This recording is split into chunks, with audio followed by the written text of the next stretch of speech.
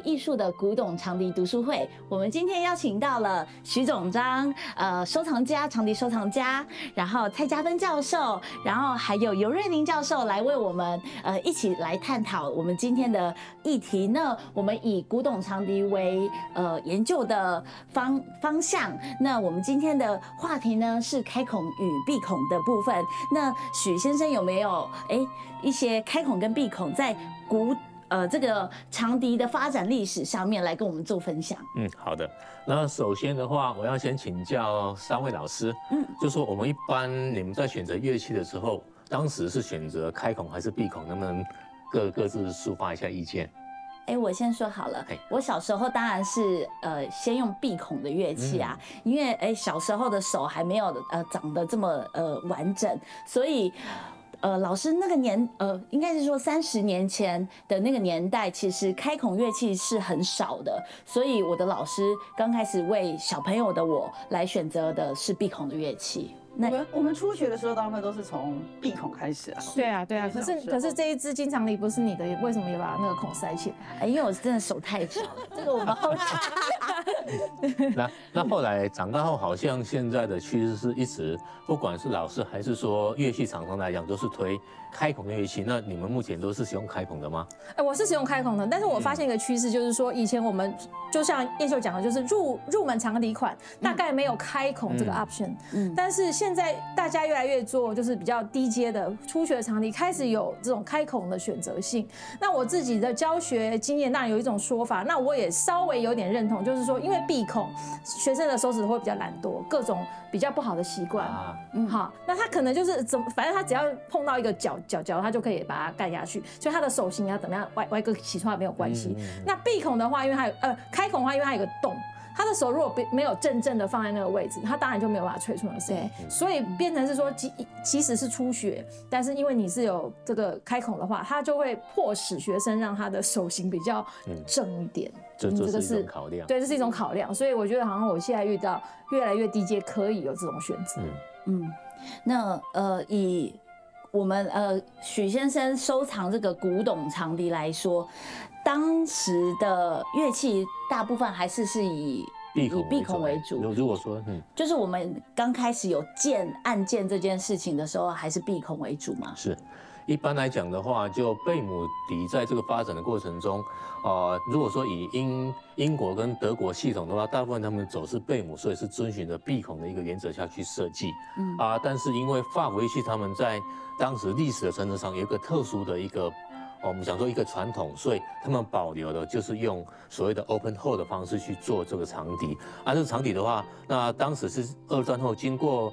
啊，法国老师到美国，这之后我美美国的发展，然后慢慢越来越多人使用开孔的乐器去演奏，那所以慢慢的开孔，开孔的话就是在那个年代很多老师用开孔，所以渐渐的学生也认为说，好像开孔比较高级，吹的人比较厉害，所以这样子慢慢无形中这个开孔的风气就流行起来了。好，那这是有有一个历史的一个一个演进的。那我想要请问一下，就是有老师，您教过这么多的学生，那当学生来问说，哎，老师。师开孔跟闭孔有什么差别的时候，老师通常会怎么去介绍这个这个部分？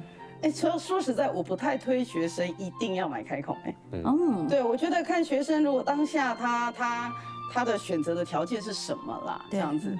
对啊，而且我就说很特别的是，我大学的教授其实跟蔡老师是同一个指导教授，刘慧锦老师，然后还有我自己在德国的教授，都刚好都是用闭孔的。嗯，所以我对这件事情倒是没有说一定觉得。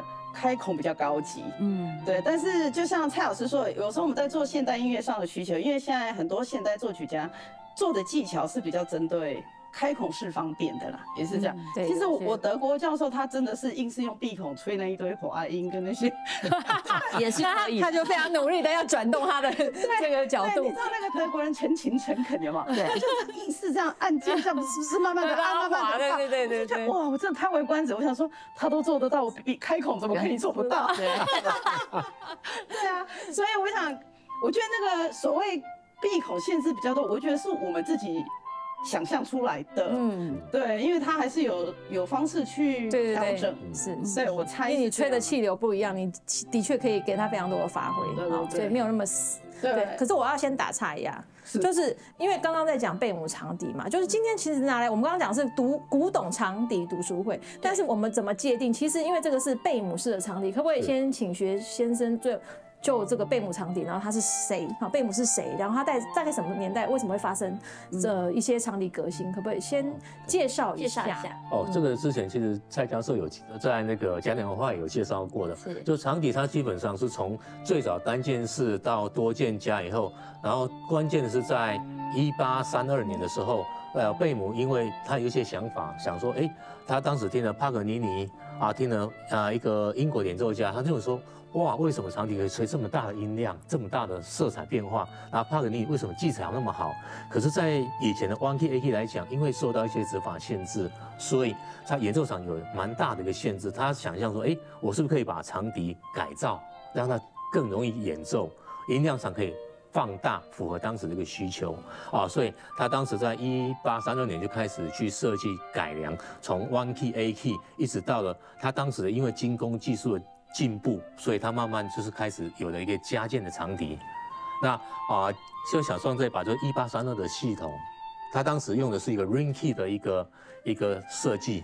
其实这个就说他当时这个设计是从法国来的一个设计，所以这就是我们现在看到的这五个孔很熟悉。这比较之下。就有点像是我们目前的这个 Open Toe 的前身，好不好？非常的类似，非常的类似。所以它这个 Ring Key 就其实跟我们现在竖笛是不是有点有点像？是的，我们所现在所谓的竖笛的贝母系统，其实是借鉴了这个三二的系统。哦。然后，然后长笛到这个时候，到后来经过的是几年，到一八四七年，贝母发表它真正的专利，就是在现代长笛系统上的一个专利。他他认为说，哦，音孔要够大，音量才够大。但是音孔够大的时候，我们手指事实上手指盖盖不了，所以他的发明是使用了皮垫这个方式来来做这个新的设计。所以他新的设计上就是说，第一个他先提了个合理的一个音孔要求，然后透过机械结构让我们手可以遥控其他音孔，然后盖子可以把孔盖。所谓的遥控就是说联动了。联动的遥控是的。好，而另外一方面说，他另外。为了音量的扩大，他把长笛从原来的锥形管改成了现代的直管，啊，也以前锥所谓的锥形管就是说它的头基本上是一个直管，但是身体上它是一个锥度，慢慢变小的，嗯，哦，这样的演奏的气跟现在是不一样的。然后贝母改成就是说它的头是一个，呃，我们这样投射投射线抛物线的一个头，然后身体是直管。一方面它的放放大比较好，第二个是它音孔可以合理的经过线性的安排去设计音孔，所以这个是圆柱形的，对圆柱形，这个是圆锥形的，嗯，然后头它是抛物线，啊头是直管的圆柱形的，嗯，好，这是先天上的不一样。那那但是他后来把啊贝母的专利卖到英国跟法国，英国卖到卢罗卡，法国卖到路易斯大的一个亲戚叫菲虾土就是创造了这个开孔，他们借着这个东西，他们传统就是把它做成 open hole 的一个系统，然后再慢慢就是流传。哦，所以会有一个说法，就是说开孔是属于法式长笛。对，有的小小壮有听说比较归纳是闭孔就说是德式，德式是有这样子的传说，是这样来的。是没错，哎，哦，所以这开孔我们专专对专门对的是英国呃法国式的乐器，法国式的长笛。嗯，这样。所以那它这一个是 ring key，它这个。它这个孔开的有比这个小吗？因为我现在这个看不到。哦，你是说那个木头？木头都是木头的身体，可是它挖的音孔，嗯，对不对？它本身在木头上面挖的这个，基本上会比这个小，会比这个小，哎，大概一半不到。哦，真的哦，少这么多？是。哇，现在就是为了要盖，所以有建。那这一个呢？它是经由这一个再去发展，所以它又把它稍微加大。对，呃，可以说它的大小会跟。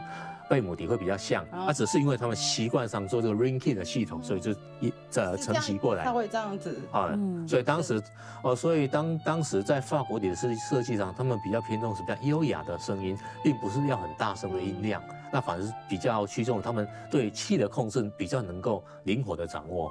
哦，所以它的系统其实，在法国底的设计上会跟他们讲的法人一样，比较优雅，比较纤细，就不像德国、英国人砰砰砰那么那么大的一个气压，所以啊，在当代的一个 open hole 的系统，他们其实在设计上是比较偏向于说泄压比较小，那音量也比较小，可是它会比较得到一个比较柔美的音色哦，跟德格系跟英系的是比较不一样的。你说我们一直以为开孔比较亮，其实可能是一个误解。误解是的。对，其实我们他当初要的是一个。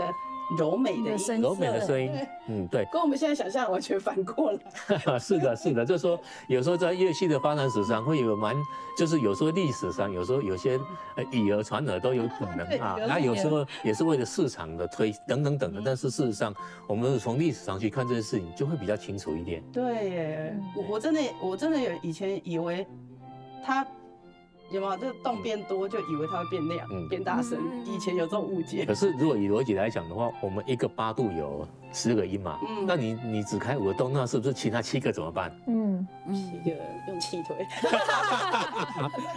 对，那那就容易造成说你的所谓的不平均嘛。对。那如果说以法国人的吹法，他是七十个音都比较弱，所以你开跟闭差别没那么大。哦。啊，是的。